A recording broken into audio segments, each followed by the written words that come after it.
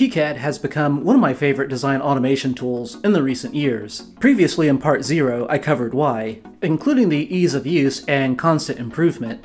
I also covered how to install the program in the first place, and you'll know you're ready for this video when you can launch the application. You can use the system to design some pretty amazing designs, but before we go that far, I'd like to change the default theme, and we're going to do that using the plugin manager. Now, just as kind of a reminder of how this works, the even-numbered videos are going to contain need-to-know information, and the odd-numbered videos like this one are going to contain nice-to-know information. This is a odd-numbered chapter, so you can consider everything in today's exercise optional. You will need your internet connection back if you want to install the plugin, so make sure you're secured, and then launch the application. In the main application and the main menu, you're going to need to look for a icon, and the title is Plugin and Content Manager.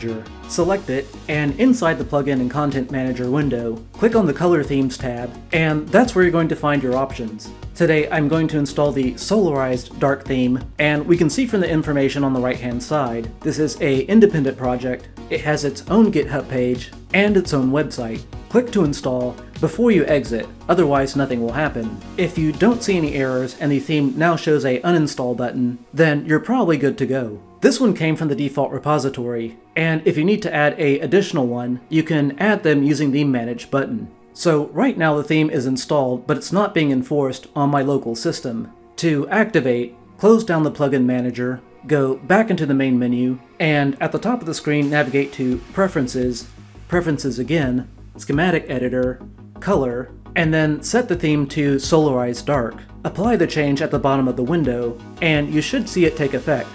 Now, there is one final warning about this. If you were to print right now, exactly what would you get? You could get a sheet of paper that looks like the default theme, which isn't too bad, but if you're misconfigured, your page could be completely dark.